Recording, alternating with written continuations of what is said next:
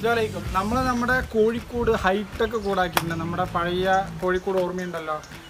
നമ്മളിതിന്റെ ഉള്ളിൽ വെറും ഒരു റൂം മാത്രമാണ് ഉണ്ടായിട്ടുണ്ടായിരുന്നത്. ഉള്ളിൽ സെപ്പറേഷനോ കാര്യങ്ങളോ ഒന്നും നമ്മൾ ചെയ്തിട്ടുണ്ടായിരുന്നില്ല. ഇപ്പോൾ നമ്മളത് എന്താ ഈ ഒഫീഷ്യലായിട്ട് ഹൈടെക് കൂടാക്കി മാറ്റിയിട്ടുണ്ട്. ജസ്റ്റ് കൂടിന്റെ രൂപം കാണിച്ചത് അപ്പോൾ നമ്മൾ ഫസ്റ്റ് കയറി കഴിഞ്ഞെന്ന് പറഞ്ഞു കഴിഞ്ഞാൽ ഇവിടെ നിന്ന് നടുവിലേക്ക് ഇങ്ങനെ ഒരു വഴി സെറ്റപ്പ് ആക്കി.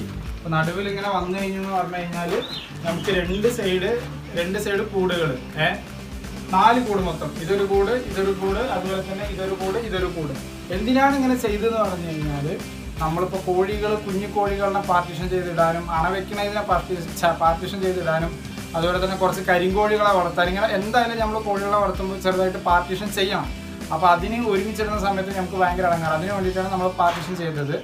ഇവിടെ എന്ന് പറഞ്ഞു കഴിഞ്ഞാൽ മോൾ നമ്മൾ മറച്ചിട്ടുണ്ട്. ഇതേപോലെ തന്നെ ഇവിടെയും മോൾ മറക്കണം ഇത് നമ്മൾ ജസ്റ്റ് നമ്മുടെ മുളകൾ മുളകൾ വെച്ചിട്ടാണ് നമ്മൾ മറച്ചിരിക്കുന്നത്. ജസ്റ്റ് മുള വെട്ടിയിട്ട് മുകളിലിട്ടിരിക്കുകയാണ് ഇവിടെ നമ്മൾ തൽക്കാലം മറച്ചിട്ടില്ല കാരണം എന്താന്ന് പറഞ്ഞാൽ ഇതിൽ രണ്ടിലും ഇടുന്നത് ചെറിയ കുഞ്ഞു കോഴിക്കുഞ്ഞുങ്ങളാണ്. അപ്പോൾ അവരിതിന്റെ മുകളിലേക്ക് പറക്കാത്തത് കൊണ്ടാണ് നമ്മൾ എന്ത് വെട്ടണം ഇതാക്കുന്നത്. ഇതിൽ നാടൻ കോഴികളായതുകൊണ്ട് ഇവരിതിന്റെ മുകളിൽ കൂടെ വരും. അതുകൊണ്ടാണ് മോൾ മറച്ചിട്ടുള്ളത്. പിന്നെ ഇങ്ങോട്ട് വരും.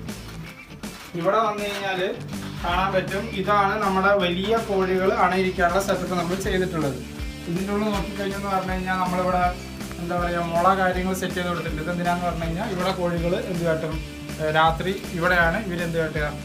കിടന്നുറങ്ങുക. അതുപോലെ തന്നെ ഈ രണ്ട് ഇതിൽ ഇവിടെ മൂന്നാലെണ്ണം ചെയ്ത് കൊടുക്കണം. പത്രത്തോളം കോഴികളില്ലാത്തതുകൊണ്ട് നമ്മൾ ഇതിലാണ് ചെയ്തിട്ടുള്ളത്. പിന്നെ ഇതാണ് ഇവരുടെ അണയിരിക്കാനുള്ള സെറ്റപ്പ് ഇത് രണ്ട് തക്കാളി തക്കാളിപ്പെട്ടിയുണ്ട് ഇത് രണ്ട് തക്കാളി പെട്ടി.